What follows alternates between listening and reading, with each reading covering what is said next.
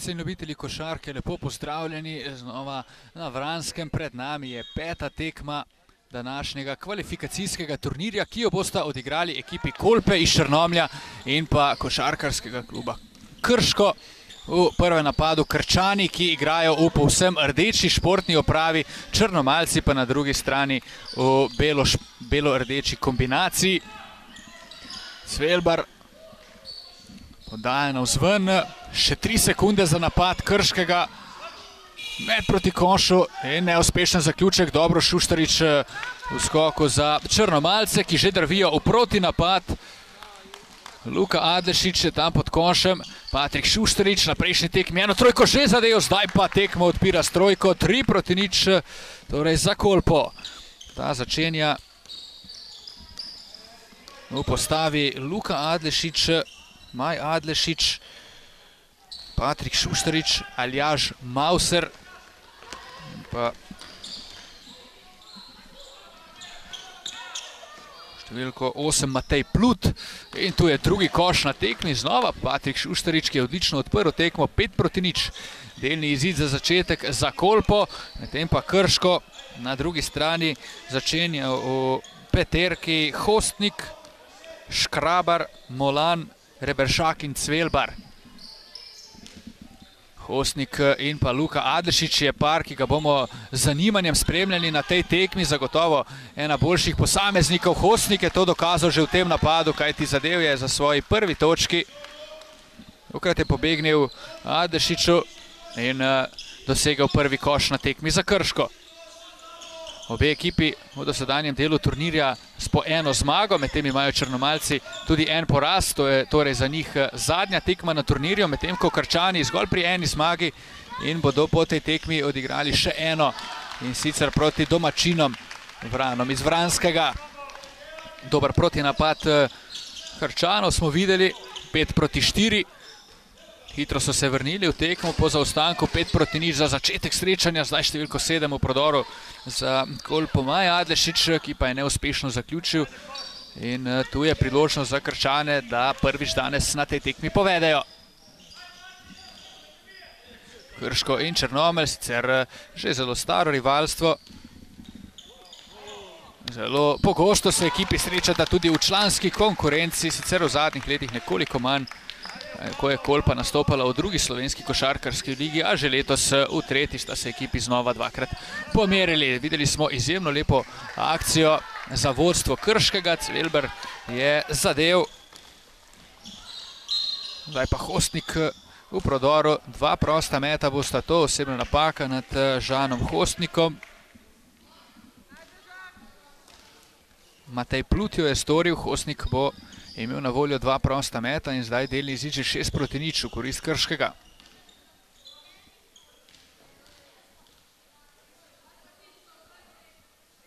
Hostnik v prvo nenatančen žoga, enostavno ni hotela skozi obroč, poplesala je in na koncu jo je potegnilo ven, še drugi prosti met bomo videli zdaj strani Žana Hostnika, ki je en koš danes že dosegal, tudi tokrat je bil neuspešen Patrik Šuštarič, pa zelo dobro do obramnega skoka. Daj Cvelbar dobro v obrambi, odlično je ukradel žogo, Hostnik drvi v proti napad, ali ga lahko tudi zaključi. Nekaj težav na koncu, vendarle pri zaključku, Hostnik se mora rešiti iz težav, podal je Cvelbarju. In pri Krškem so umirili vse skupaj. Zdaj številko štiri, Anže Rebršak, pa Hostnik znova pri žogi. Hostnik s pol razdalje, zgrešil je v skoku pa znova Črnomalci, še enkrat več Šuštarič uspešen. Adlešič pa ni spremljal žoge, Šuštarič mu je podal, kot Ani gledal in izgubljena žoga Črnomlja. Na drugi strani s podobno mero vračajo tudi Krčani, zdaj nekaj raztrgane igre, tako na eni kot na drugi strani in reakcija Martina Mežana, ki je za Kolpo zahteval prvo minuto odmora na tekmi.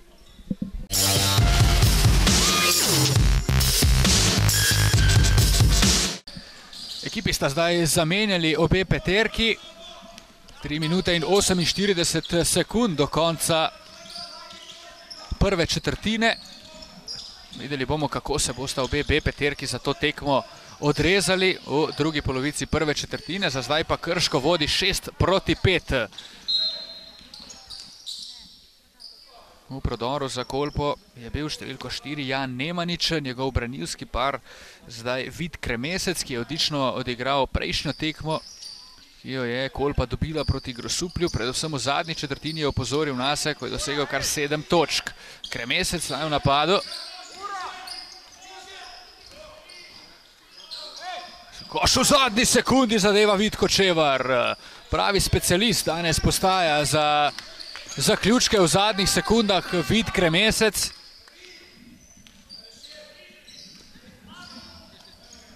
Kovač za tri neuspešno.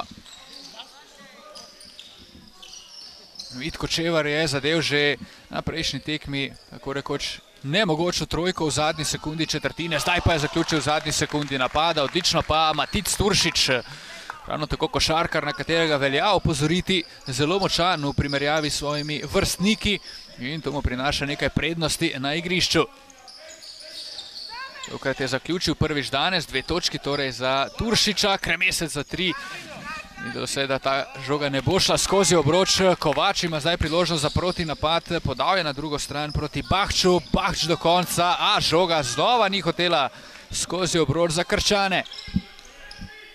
Bahč preigrava, pogledajte, odlična tehnika, Turšič, Turšič do konca, dobro so ga tokrat ovirali košarkari Kolpe, pa Kovač, Kovač z metom z pol razdalje, neuspešno, odlično tokrat v skoku in osebna napaka nad eh, Binetom Plutom, je tokrat eh, odlično v borbi za prostor pod košem, premagal Matica Turšiča in eh, osvojil žogo za svojo ekipo. Vid Kremesec, zdaj v vlogi glavnega organizatorja igre pri Kolpi, Poiskal je prostega soigravca, Jan Nemanic se je lepo odkril.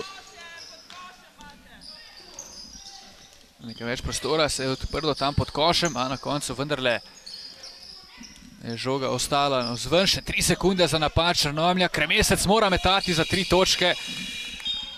Nova je, košarkar je kolpe preganjala ura na pomožnem zaslono. No, zdaj pa vendarle minuta odmora, dve minuti in sedem sekund do konca prve četrtine.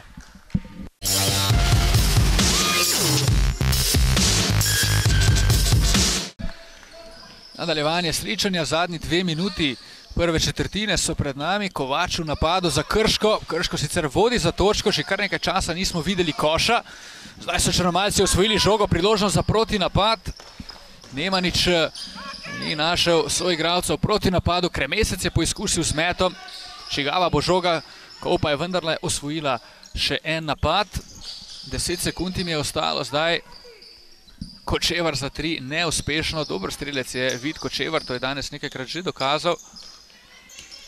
Bahč pri žogi za Krško, v slamu je žoga in eh, ta bo pripadla Kolpi.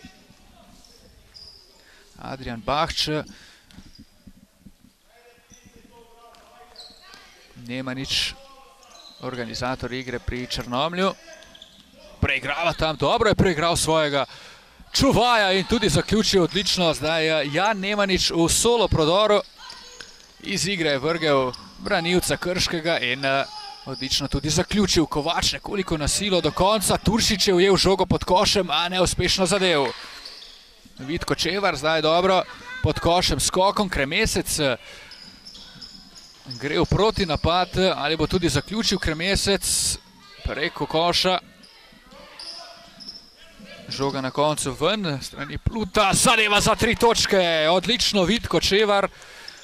Pred nekaj trenutki sem opozoril na njegovo roko, na njegov met z razdalje, to je ne na zadnje, zdaj s tem metom tudi dokazal, potrdil moje besede in Kolpa vodi z 12 proti 8. Odlično košarko spremljamo v tej prvi četrtini, tako strani ene kot druge ekipe, zdaj odlična obramba strani Kolpe, podvajanje na Maticu Turšiču ki ni uspel zadeti, pri tem je storil korake in zadnji napad v prvi četrtini bo pripadal Kolpi.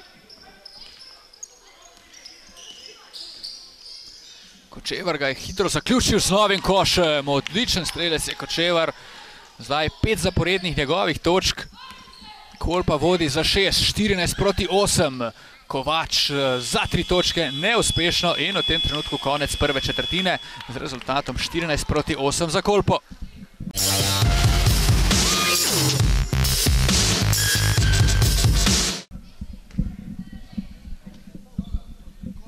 Pred nami je začetek druge četrtine teke med Kolpo in pa Krškim. Prvi napad za košarkarje Kolpe, ki znova začenjajo v A peterki, torej prve štiri minute te druge četrtine znova pripadajo košarkarjem, ki so začeli tekmo.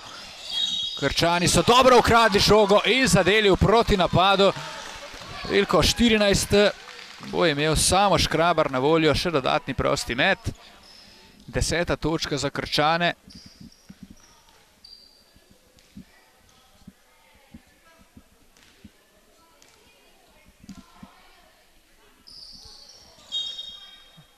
Šrte prostih metov nekoliko prekratek. Košarkar Krškega, samo Škrabar. Nov napad za Kolpo, ki ga znova vodi Maj Adlešič. Oba Adlešiča še enkrat več na parketu za Kolpo. Luka zdaj pri žogi. Preigrava Žana Hostnika. Luka gre do konca, nad njim osebna napaka. Manjši udarec je prejel Luka Adlešič, a bo seveda brez težav lahko nadaljeval. Kolpa se bori za svojo drugo zmago na današnjem turnirju, enako velja za Krško. Dve zmagi pa ima že na svojem kontu ekipa Vrano iz Vranskega, s katero bo Krško odigralo še eno tekmo. Takoj po tej, torej zadnja tekma današnjega kvalifikacijskega turnirja na Vranskem. Dober skok v napadu, Patrik Šušterič je bil na pravem mestu še enkrat več, nad njim osebna napaka in žoga iz avta za Kolpo.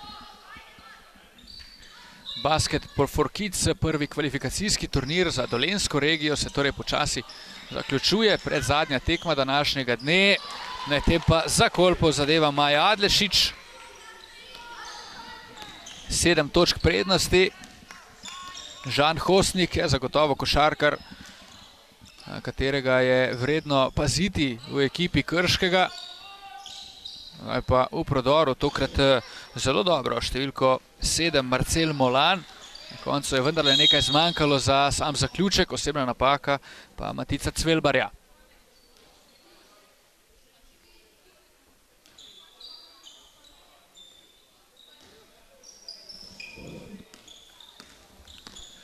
Maj Adlešič, enostavno prehiter za svojega branilca. Adlešič zdaj zaključuje z metom neuspešno.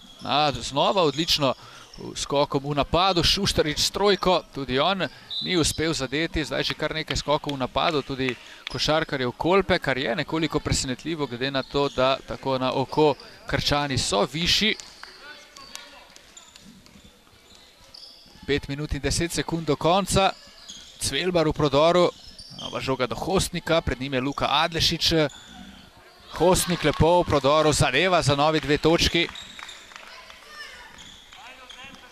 17 proti 12.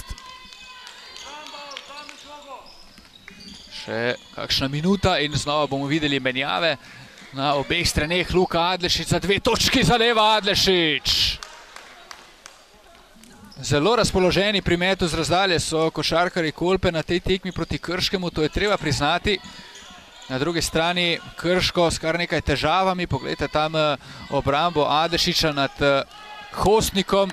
Enostavno Hostniku ne dovoli, da bi sploh prejel žogo, Šušterič je znova skočil in zdaj je potegnil v napad za Kolpo.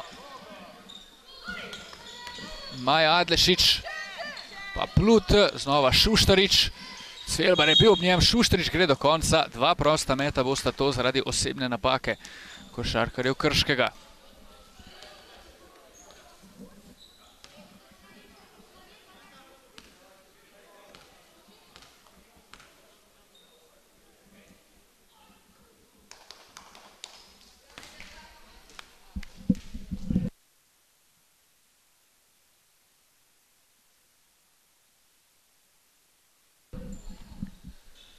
Šuštarič v drugo nenatančen, Hostnik je dobro skočil in to bo menjava. Prišli smo mejo štirih minut v drugi četrtini, torej obe ekipi menjata celotno peterko.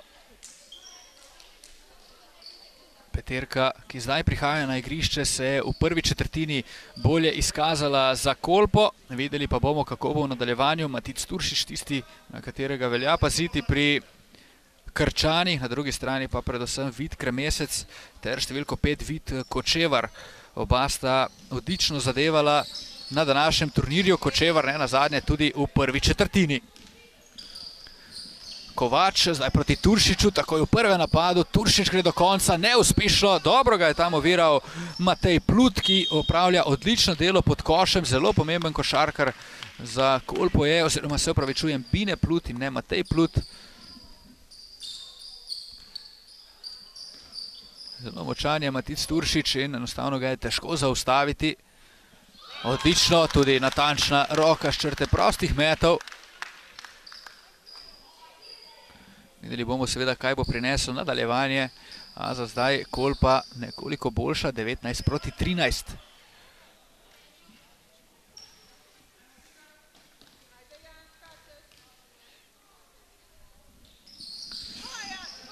Turšič je zgrešil drugo, zato pa odlično Jan Kusel v skoku. Pa na koncu izgubljena žoga in prekršek dvojnega vodenja košarkarja Kolpe, to je bil Jan Nemanič, hitro je Kolpa zdaj izgubila žogo, dve minuti in pol do konca prvega polčasa, priložno za Krčane, da se še nekoliko bolj približajo. Številko deset je zdaj poizkusil Jaka Pompe in na koncu do koša Matic Turšič. Vitko Čevar zdaj pa še ena izgubljena žoga Kolpe, ki ima zdaj številne težave pri prenosu žoge skozi igrišče, enostavno morajo zaigrati bolje. Poglejte, še enkrat več izgubljena žoga. En minuta odmora na zahtevo Martina Mežana, glavnega trenerja, danes eh, košarkarjev Kolpe, kar je seveda razumljivo glede na zadnjih nekaj izgubljenih žog njegovih košarkarjev.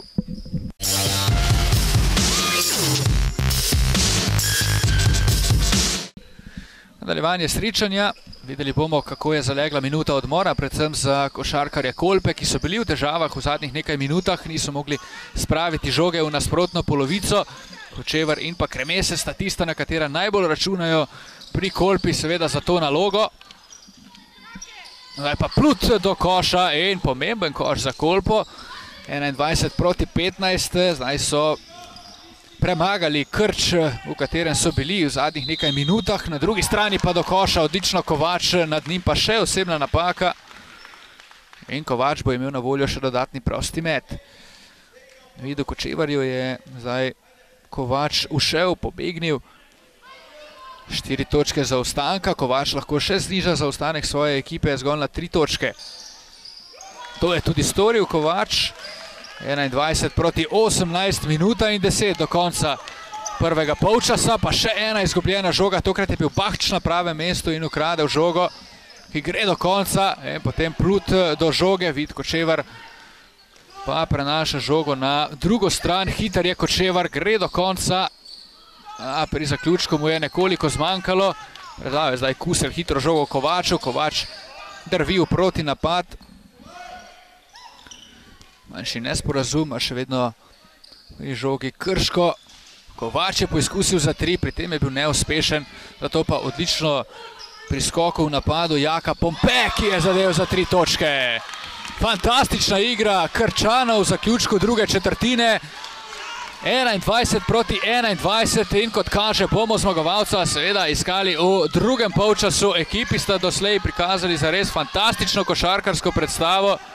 In takšne košarke strani mladih igralcev vsi samo lahko želimo v nadaljevanju tekme. Vid Kremesec pa pelje Kopo v vodstvo s 23 proti 21. Kovač zadnji met v prvem polčasu. Kovač je bil prekratek in Kolpa gre na prednost z dvema točkama prednosti 23 proti 21.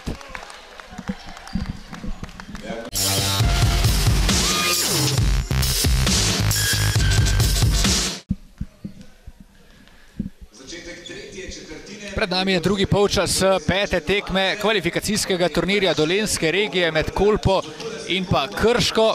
Obe ekipi v dosedanjem delu po eno zmago, medtem ima Kolpa tudi en poraz, Krško pa zgolj pri eni zmagi, to je za njih šele druga tekma. Zadnjo bodo odigrali seveda v šesti tekmi proti domačim vranom. Začetek tretje četrtine je obeležila osebna napaka nad Žanom Hostnikom, ki ima zdaj na voljo dva prosta meta, s tem pa priložnost, da izenači izid na 23. Hostniku prvo natančen, kol pa je danes eh, vodila že za sedem točk, pa so potem Krčani uspeli izid izenačiti. Odlično so odigrali v drugi polovici druge četrtine. Dvakrat natančen Žan Hostnik črte prostih metov.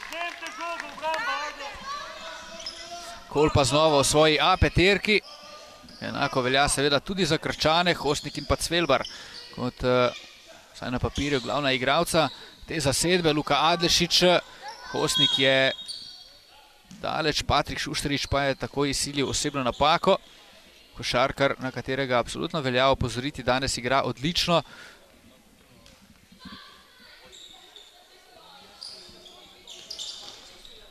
Maja Adlešič se je zdaj odkril. Odprla se mu je pot do koša z levo roko do konca. Maj Adlešič v odličnem samostojnem prodoru. 25 proti 23, znova kolpa v vodstvu.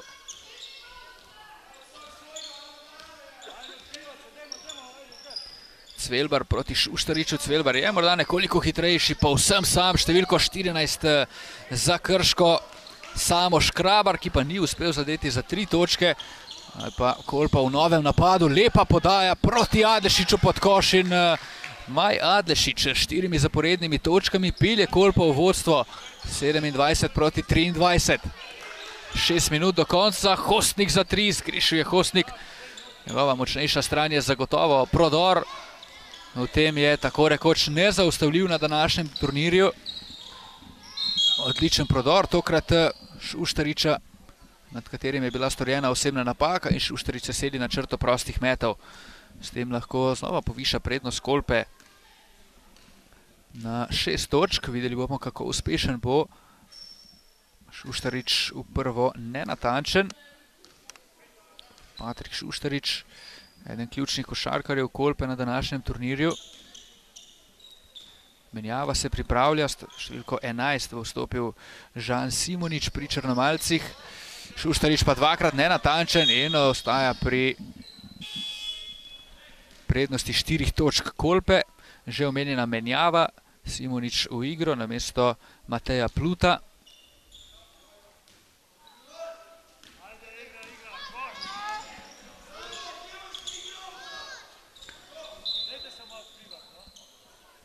Kot kaže, je potrebna prekinitev.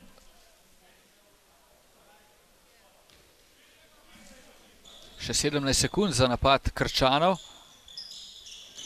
Cvelbar pa je tam nevarno padel. Patrik Šuštarič z osebno napako nad njim. Žoga iz avta za Krško.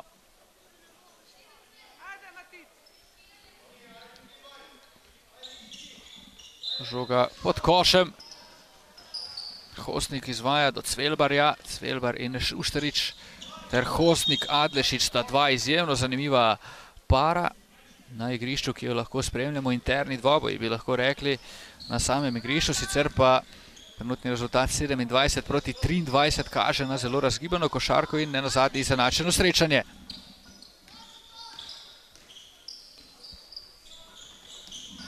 Še enkrat Šuštarič močno do koša in tudi uspešno za šest točk prednosti Kolpe. Krčani so imeli dvakrat priložnost, da znižajo svoj zaostanek. To jim ni uspelo.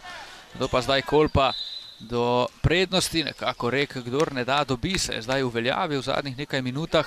Hostnik pa je hitro postavil stvari na svoje mesto, vsaj kar se svoje igre tiče. Hitro je potegnil čez igrišče, zaključeval, nad njim bila storjena osebna napaka in znova se je znašel Žan na črti prostih metov. Prvo nenatančen, poglejmo, kako bo v drugo. Na to bo potrebno upraviti znova menjave. Hostnik natančen.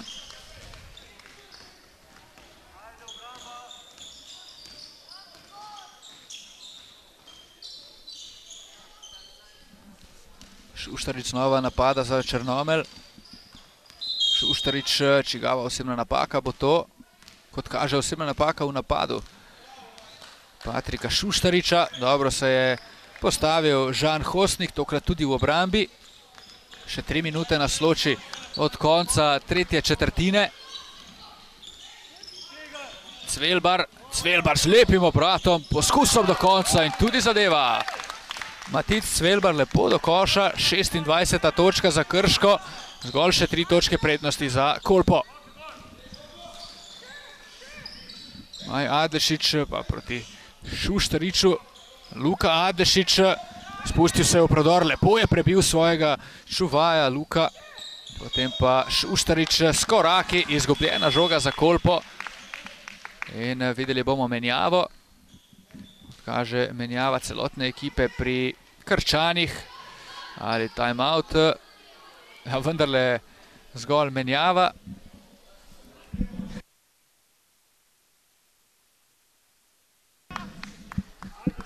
Krčani torej v popolnoma prenovljeni peterki nadaljujejo to tretjo četrtino, dve minuti in pol do konca.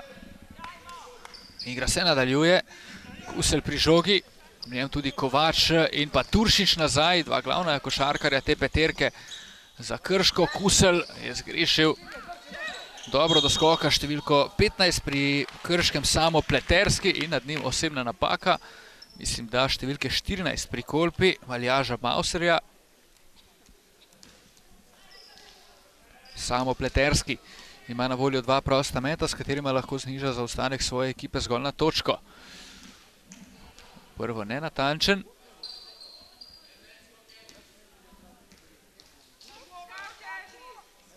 Poglejmo, kako bo v drugo. Ja, tudi v drugo ni šlo, ostaja pri treh točkah prednosti za belokransko ekipo. Šuštarič še enkrat v prodoru. Odkrival se je tam eden izmed njegovih soigravcev, ni ga videl in med tem je potekel napad Kolpe. Je minuto in pol do konca ob podpori svojih navijačev. Zdaj napadajo Krčani. Kovač gre do konca. Dobro se je zapodil pod koš. Nekoliko prekratek zaključek. Maj Adlešič pa zdaj poizkus meta za dve točki. Prekratek meč Igava Božoga. Za Kolpo še naprej kaže sodniška dvojka. Poizkusil je Aljaž Mauser.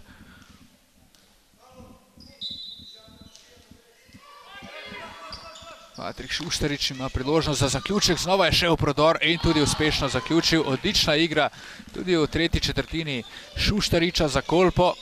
In Črnomalci znova vodijo s petimi točkami razlike.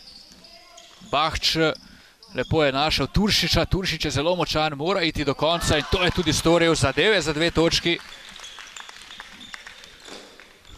In Krško se je znova približalo. Tri točke prednosti za Kolpo.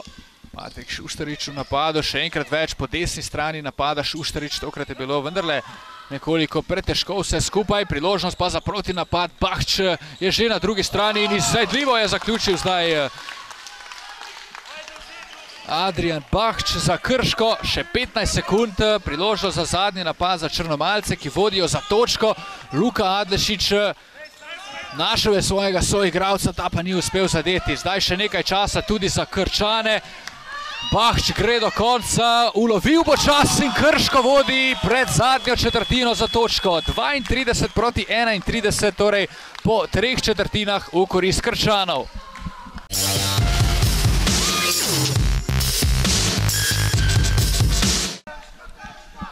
Odlično vzdušje v dvorani na Vranskem pred začetkom zadnje četrtine izjemno, izjemno zanimivega srečanja med Kolpo in pa Krškim, nekako derbi teh dveh ekip, ki izvira tudi iz članske košarke, ne na zadnje se nič kolikokrat ti dve ekipi pomerita, tudi zaradi regijske bližine in v Basket for Kids kvalifikacijskem turnirju Dolenske regije.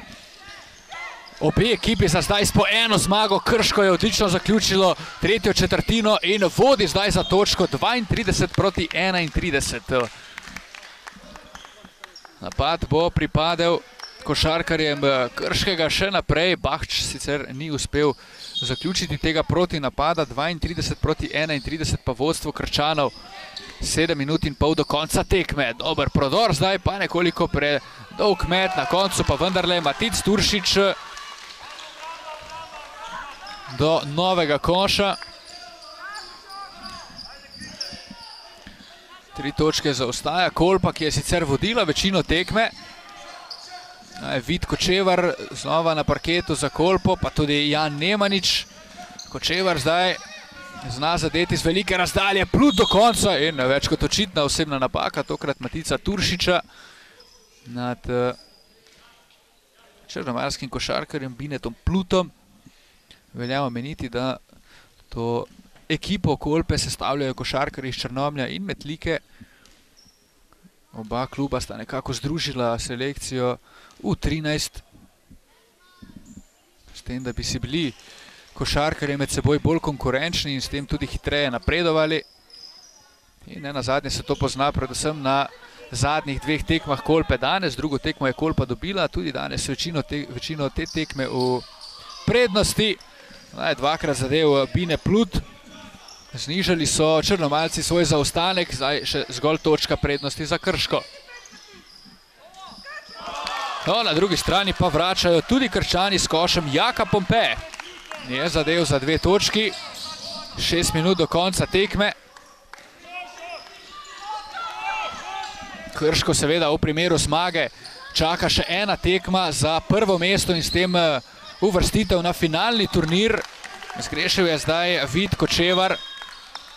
In pre nadaljevanjem tekme 5 minut in 50 sekund do konca pri prednosti Krčanov s tremi točkami minuta odmora.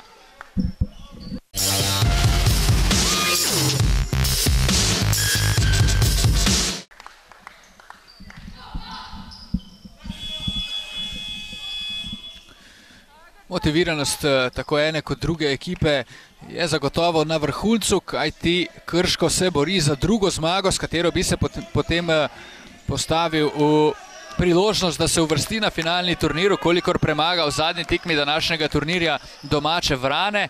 Na drugi strani pa Kolpa išče seveda drugo zmago. Na tem turnirju po uvodnem porazu so odlično odigrali tekmo proti Grosuplju. V prodoru je bil znova Bahč, nad njim pa osebna napaka Muca za dva prosta meta. Zdaj ima Bahč priložnost, da še nekoliko odmakne Krško od eh, Kolpe.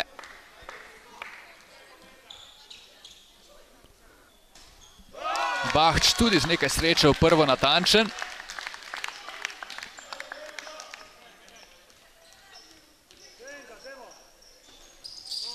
Tudi v drugo, mirna roka Adriana Bahča, pet točk prednosti za Krčane, 4-50 do konca te tekme. Nemanič gre v prodor za kolpo do konca, Nemanič brez osebne napake nad njim, potem pa Vid Kočevar s pametno osebno napako, s katero je prekinil proti napad Krškega.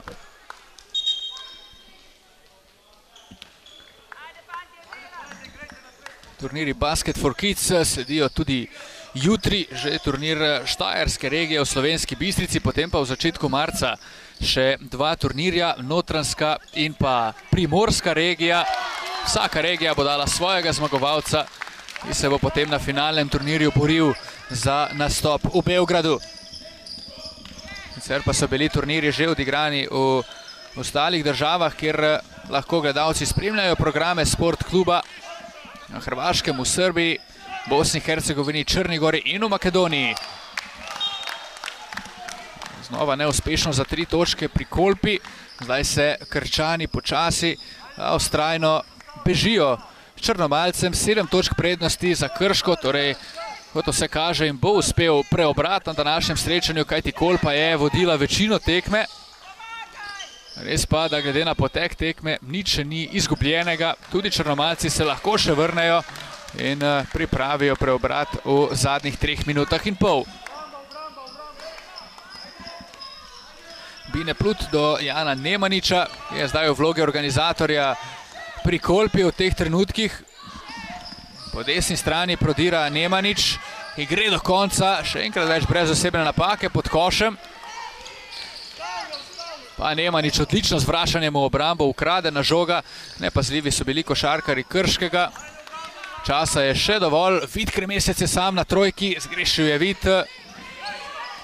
Požrtvovalno Krčani, ki so osvojili žogo, Kovač pa bo zdaj vse skupaj zaustavil. Kusel je prišel do žoge, pametno umiril žogo, umiril igro in Krčani lahko počasi organizirajo svoj nov napad.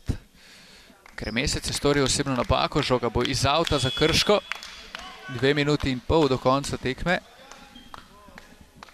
Znova nekaj več menjav pri Krškem, Kot kaže, Hostnik prihaja nazaj na parket. najnevarnejši posameznik pri Krškem.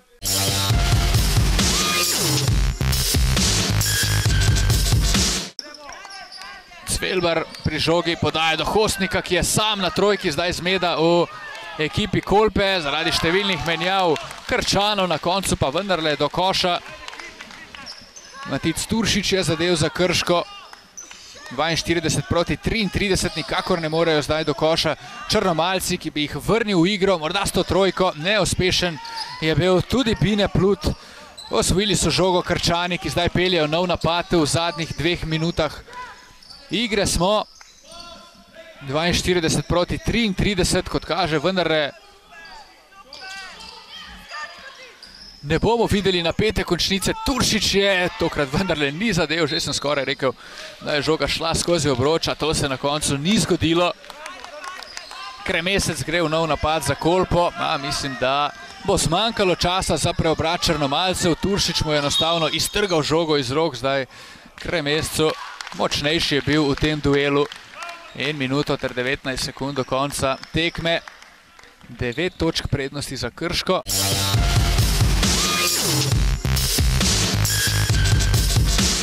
Jaka Pompe, zdaj v vlogi organizatorja igre pri Krškem, gre do konca, eno z njim osebna napaka za dva prosta meta, Pompe se je tokrat dobro znašel. In imel bo na voljo dva prosta meta, s katerima lahko Brško ne zagotovi zmago svoji ekipi. S tem se Krško seveda postavlja v bok Vranom iz Vranskega in odločitev o zmagovalcu prvega kvalifikacijskega turnirja projekta Basket for Kids v Sloveniji predstavlja odločitev o prvem finalistu na zadnjo tekmo dneva. To je seveda tudi za gledalce najboljše. Ajti turnir bo izjemno zanimiv vse tja do konca. Torej tekmo med Krškim in pa Vrani iz Vranskega. Domačini, gostitelji turnirja bo odločila prvega finalista. Turnir je v Basket for Kids za Slovenijo. Zdaj se posvetimo samemu zaključku te tekme, predno dokončno določimo zmagovalca. Na črti prostih metov za kolpo je Jan Nemanič. Prvo je zgrešil Nemanič, ostaja pri 33 proti 43, zdaj že kar nekaj minut kolpa brez koša, kar jih bo seveda drago stalo, ne nazadnje tudi zmage. Krčani so po odličnem zaključku tretje četrtine vsega, tudi nadaljevali v četrti v podobnem ritmu.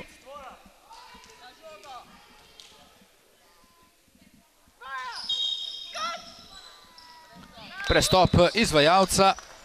Žoga bo pripadla Krčanom. Stopili smo v zadnjo minuto tekme. Deset točk razlike je tako rekoč nemogoče zdaj nadoknaditi, glede na zadnje skupni izkupiček.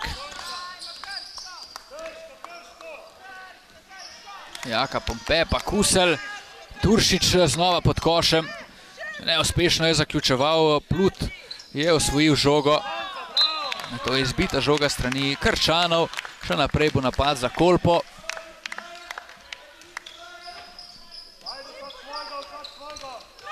Pa je izgubljena žoga, oziroma prestop tam. Kusel je prestopil, ni uspel dokončno ukrasti žoge, Plut iz avta. Podaja proti Mucu. Muč pa še enkrat Kusel zelo agresivno, odlično. Zdaj v obrambi nekaj potez Jana Kuslja.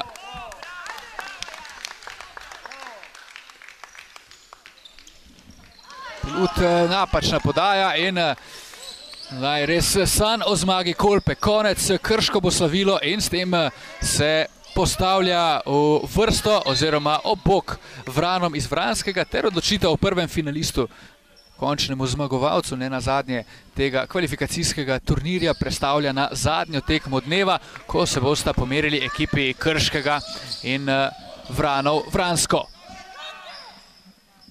Za tri je poizkusil Jan Nemanič, še tri sekunde in Tako se bo končala tekma med Kolpo in Krškim. Kolpa zaključuje torej kvalifikacijski turnir z eno zmago in dvema porazoma.